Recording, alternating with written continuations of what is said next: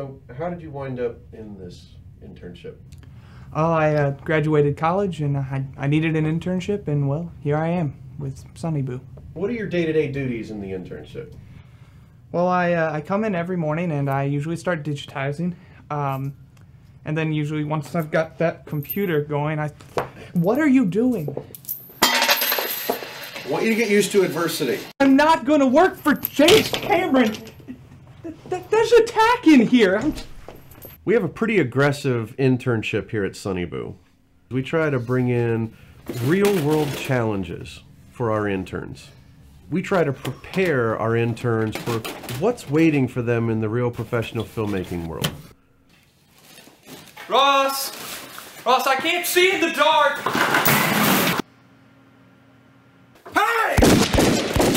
We're very proud of our internship at Sonnyboo. Only about 1 in 10 survive. Recently, Ross decided that he was gonna go cold turkey on caffeine. I've had a long standing addiction to caffeine. I mean, I used to drink four to six Coca Cola Classics a day. Since Ross quit caffeine, he's had some tiny mood swings.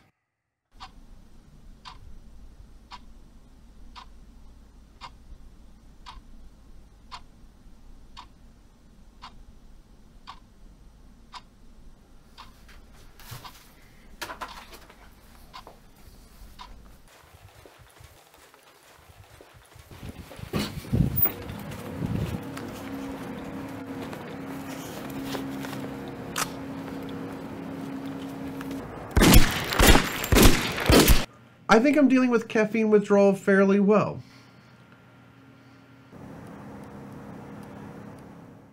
Before I started working on the feature Accidental Art, Ross wanted me to become familiar with his body of work.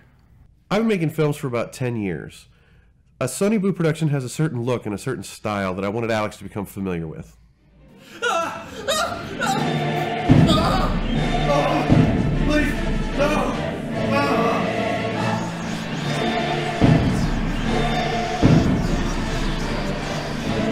I have very high standards when it comes to editing and what my interns do as editors.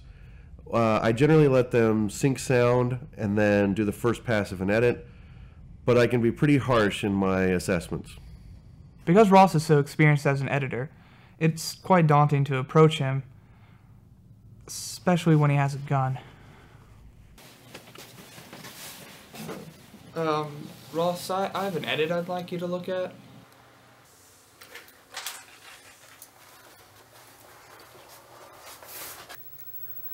So I, I cut here because Hold it.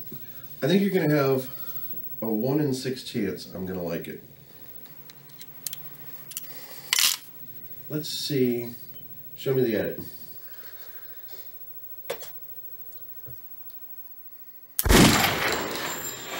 I hope Alex can appreciate my tough love approach to editing.